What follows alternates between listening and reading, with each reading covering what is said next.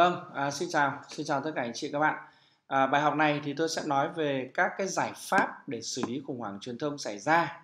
Các cái giải pháp và mỗi một cái video bài học sẽ là một cái nhóm giải pháp, một cái nhóm giải pháp. À, thì khi mà khủng hoảng xảy ra rồi ấy, thì điều đó là điều không ai mong muốn cả. Đó, thế thì chúng ta sẽ cần phải có một số những cái giải pháp cơ bản để chúng ta đánh giá xem là nó ở cái mức độ như thế nào chúng ta xử lý để nó gọn gàng được chưa? À, thì thông thường tôi thấy hiện nay theo cái kinh nghiệm mà tôi theo dõi trên thị trường ấy, thì hầu như các doanh nghiệp hoặc là các cá nhân khi dính phải khủng hoảng thì nhiều người là không có kinh nghiệm xử lý không có đội ngũ xử lý à, không có ekip xử lý cho mình. Đó tôi sau này thì trong cái bài học khác thì tôi sẽ nói về một số những cái Ờ, kinh nghiệm mà tôi đã đi tư vấn và xử lý cho một số vụ việc cho khách hàng. Thế thì cái nhóm giải pháp đầu tiên trong cái video này, tôi sẽ đề cập đến nhóm giải pháp công nghệ. Tức là nếu như khủng hoảng xảy ra, đúng không? Thì các bạn biết rồi, bây giờ khủng hoảng nó chủ yếu nó xảy ra ở trên mạng. Chứ không ai cầm tờ rơi đi phát hay là cầm giải truyền đơn đi phát như ngày xưa nữa cả. Khi nó ở trên mạng như vậy thì chúng ta phải sử dụng các cái giải pháp công nghệ để chúng ta giảm thiểu khắc phục một phần hoặc là có thể nếu mà làm tốt làm mượt mà thì có thể à, giảm thiểu được rất nhiều đúng không? Thì đây là một số những cái gợi ý của tôi dành cho các anh chị nếu như các anh chị rơi vào tình tình huống như vậy đúng không ạ? Chúng ta cũng rất, hết sức là lưu ý là tùy vào mức độ nhé tùy vào mức độ trầm trọng trầm kha của vụ việc tùy vào năng lực tài chính mối quan hệ của anh chị được chưa? Thì cái nhóm giải pháp công nghệ này bao gồm là thứ nhất là chúng ta phải à, có thể là cho đóng website đóng fanpage hoặc là khóa một số các tính năng comment tính năng bình luận ẩn fanpage ẩn facebook cá nhân ẩn kênh youtube vân vân. Tóm lại là chúng ta ẩn nó đi khóa nó lại. Bởi vì sao? Bây giờ dân tình người ta đang rất là bực mình người ta đang rất là là gọi là điên cái đầu lên đúng không? Người ta đang a dua a tòng đang theo tâm lý đàn ông vào ném đá chửi rủa các kiểu. À, chẳng hạn như là à, Vietjet Air đúng không? Thì à, khi mà khủng hoảng xảy ra họ làm một cái động tác rất đơn giản đấy là trong lúc tâm bão mọi người đang bàn tán rất nhiều một hai ngày đấy cái lượng bài viết về Vietjet Air tăng lên đột biến và hầu hết là những bài viết có cái uh, mùi gọi là tiêu cực đấy hoặc là không tốt cho uh, thương hiệu. Thế thì họ có thể sử dụng một cái biện pháp là họ đóng website hoặc là hạn chế truy cập website hoặc là họ đóng những cái tính năng comment của fanpage à, họ đóng những cái tính năng à, comment của fanpage đúng không đóng các tính năng vote của fanpage à, vân vân. Thậm chí họ ẩn fanpage đi không cho tìm thấy luôn. À, sau hết một hai hôm à, một vài ngày nó qua đi cái đợt bão đấy họ có thể mở lại. Các bạn có thể học như vậy được chưa ạ? Rồi thì à, các cái kênh liên hệ khác như là Facebook như là YouTube như là Zalo như là website Instagram vân vân những cái trang mạng xã hội mà các bạn đang có. Các bạn cảm thấy có nguy cơ các bạn có thể ẩn khóa à, cho nó qua đợt bão đi à, mình sẽ mở lại được chưa ạ? À, thế rồi thì mình cũng có thể là gì ạ? À, làm SEO web mình làm SEO web mình chạy Google AdWords à, chạy quảng cáo để làm gì? Để phản hồi những cái tin nó tích cực hơn hoặc là lái dư luận sang một cái hướng khác đúng không?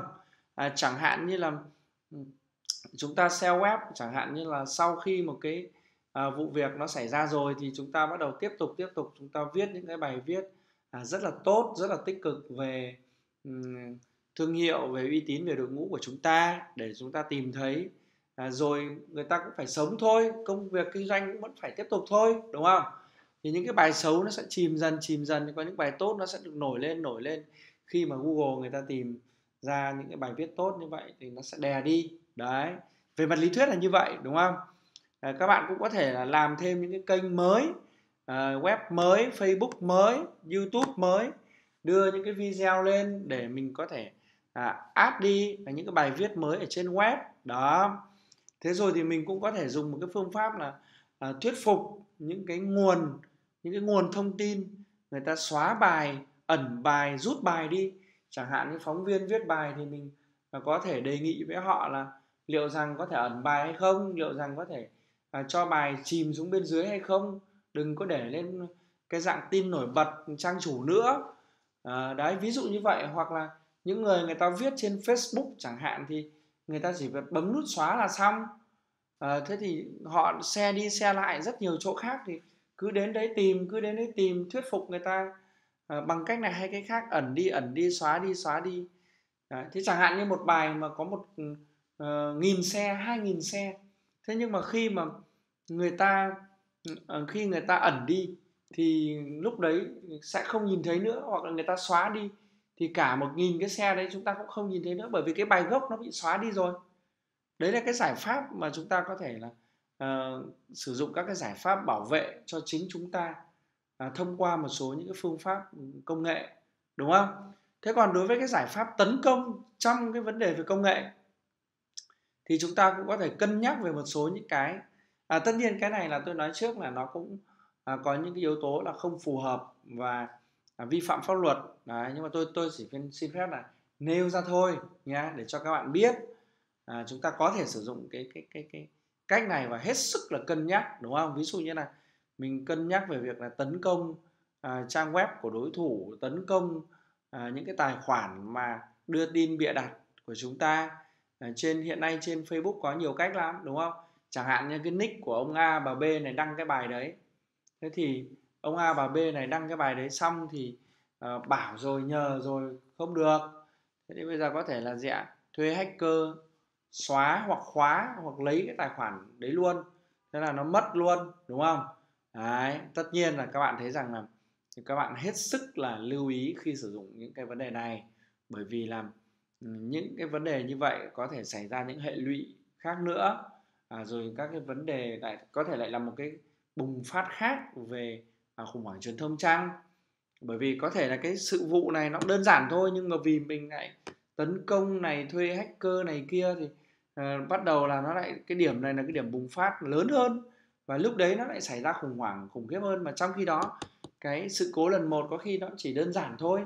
À các bạn hiểu chưa bởi vì nó có nhiều cái tác ừ, tác động và những cái hệ lụy tồi tệ có thể xảy đến. Và đặc biệt là à, chúng ta sử dụng những phương pháp như vậy là nó không chính thức à, nó không hợp pháp và à, có thể các bạn sẽ phải đối mặt với vấn đề pháp lý.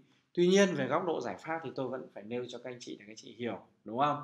Có nhiều cách để trên thị trường người làm như vậy. Ok rồi à, chốt lại nhé à, tôi vừa trình bày với các bạn một số những cái gợi ý trong nhóm giải pháp công nghệ bao gồm là bảo vệ website fanpage facebook youtube zalo của mình hotline này kia đúng không? Đóng băng lại à, hoặc là giảm truy cập đấy, à, khóa lại ẩn đi để cho nó bớt sôi sục đi đúng không?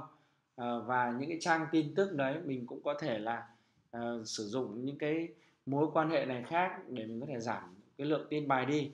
Và ngược lại mình cũng có thể sử dụng cái phương pháp tấn công đấy thì các bạn tham khảo nhé các bạn tham khảo và ứng dụng trong cái công việc của mình. À, nếu như các bạn có cái yêu cầu gì hoặc có cái lo lắng gì cần trao đổi hoặc là cần sự tư vấn và hỗ trợ của tôi à, là giảng viên Nguyễn Phan Anh thì vui lòng liên hệ với tôi qua địa chỉ email à, phananhonline@gmail.com địa chỉ Facebook là facebook.com sược Phan Anh Online. À, xin chào và hẹn gặp lại các anh chị và các bạn trong bài học tiếp theo. Xin cảm ơn.